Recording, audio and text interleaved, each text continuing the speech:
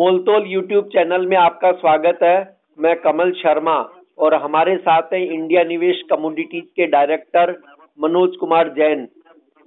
मनोज जी, आज मसाला पैक ने ठीक ठाक स्थिति बताई है पूरा एनसीडीएक्स ग्रीन में बंद हुआ है। धनिया वायदा पर आपका जो पिछला व्यू था, वहाँ आपने एक सपोर्ट लेवल से ऊपर उठने की बात कही थी कि अगर वहाँ से बाज़ार ऊपर नहीं उठा तो ये नरमी की ओर जाएगा, लेकिन उस लेवल से ऊपर उठा है क्या कहेंगे आप?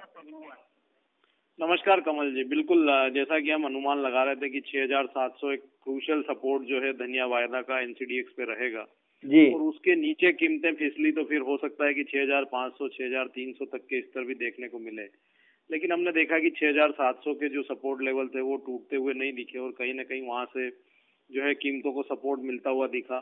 उसके पीछे हमने जो मुख्य वजह हम देखें तो जिस तरह से कल गत सप्ताह जो यूएस के प्रेसिडेंट डोनाल्ड ट्रंप और चाइनीज़ प्रेसिडेंट के बीच में ट्रेड को आगे जारी ट्रेड पे जो वार्ता है उसको आगे जारी रखने का जो समझौता हुआ उसके बाद हमने देखा कि सारे ही जो ग्लोबल फाइनेंशियल मार्केट्स है वहाँ पे बढ़त देखने को मिली। और उसी वजह से आज हमने डोमेस्टिक एग्रीकल्चर कमोडिटीज में भी लगभग सारी कमोडिटीज में उछाल आते हुए देखा और मसाला पैक में भी बढ़त जारी रही। दूसरा जिस तरह से जो मानसून का स्प्रेड है वो भी अभी भी आ, कुछ जगह पे बहुत अच्छी बारिश हुई है लेकिन कुछ जगह पे बिल्कुल बारिश भी नहीं हुई है। तो ये भी एक अभी अनिश्चितता का माहौल है और जून का जो डेफिसिट है अभी वो जुलाई में उसकी कितनी भरपाई होगी इसके ऊपर भी सबकी नज़र रहेगी। तो इन्हीं अनिश्चितताओं के चलते और ग्लोबल सेंटिमेंट में सुधार के चलते कहीं ना कहीं सारी कमोडिटीज को यहाँ पे सपोर्ट मिला। धनिया वायदा में भी हमने देखा है कि कीमतें एक बार फिर से सात हज़ार के स्तरों के ऊपर आज क्लोज हुई है। अब मेरा मानना है कि यहाँ पे अगले जो रेजिस्टेंस है, सात हज़ार सत्तर और इकहत्तर सौ चालीस, इकहत्तर सौ पचास, वहाँ पे जो है मज़बूत यहाँ पे प्रतिरोध इस कमोडिटी को देखने को मिलेगा।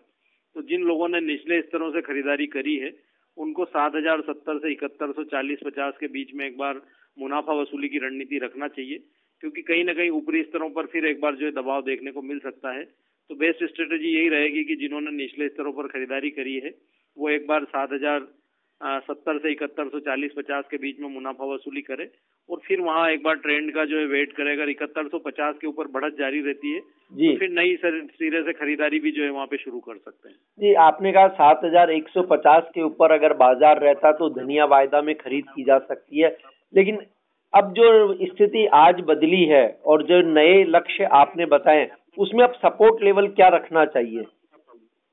सपोर्ट लेवल अब मेरा मानना है कि जिस तरह से निचले स्तरों से कमोडिटी ने सपोर्ट लिया है तो अब यहाँ कहीं ना कहीं जो इम्पोर्टेंट सपोर्ट जो है वो छह हज़ार आठ सौ चालीस छह हज़ार आठ सौ पचास के आसपास रहेगा। जी। तो यहाँ पे अड़सठ सौ पचास को एक स्ट्रांग सपोर्ट जो है अब मानना चाहिए। अड़सठ सौ पचास के ऊपर जब तक कमोडिटी कारोबार करेगी तो वहाँ पे एक नरमी की गुंजाइश कम रहेगी।